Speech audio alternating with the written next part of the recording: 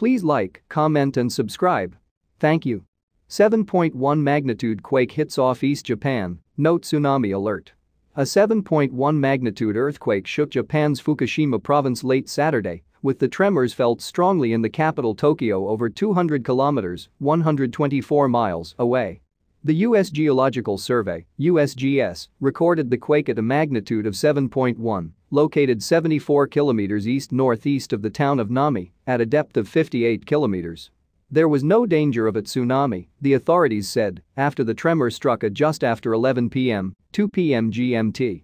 The Japanese government set up a task force to deal with the aftermath of the quake, Kyodo News Agency reported, although there were no immediate reports of damage or casualties. In March 2011, Fukushima and other areas in the northeast of the country were hit by a magnitude 9 earthquake and tsunami, leading the Fukushima Daiichi nuclear power plant to suffer core meltdowns. At that time, more than 18,500 people died in the floods. The operator of the plant, TEPCO, was checking the facility for any abnormalities after the quake, Kyodo reported. The Fukushima site has dozens of large containers holding over a million tons of radioactive water, which was used to deal with the nuclear fallout from the quake nearly a decade ago. Please like, comment and subscribe. Thank you.